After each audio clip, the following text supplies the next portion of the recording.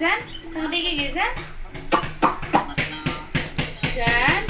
Zan ah orang guyu di kawat